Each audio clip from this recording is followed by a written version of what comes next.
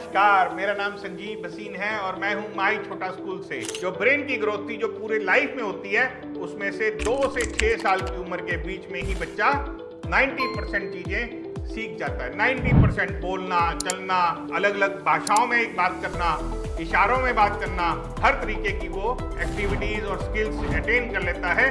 अब, यदि इस उम्र में आपने बच्चे को एजुकेशन नहीं दी लर्निंग नहीं दी तो उसका जो ब्रेन ग्रोथ है, जो उसका ब्रेन ग्रोथ सिस्टमेटिक तरीके से होना था, वो इस उम्र में अटक जाएगा। और वो उसकी जो खामियाजा है, उस बच्चे को पूरी लाइफ भुगतना पड़ता है। तो इसलिए हम ये कहते हैं, हम इस बात पे फोकस करते हैं कि अर्ली एज लर्निंग जो छोटे बच्चे हैं, दो से छः साल के बच्चे हैं, उनको सिस्टमेटिक तरीके से लर्निंग देना बहुत ज़रूरी है। धन्यवाद।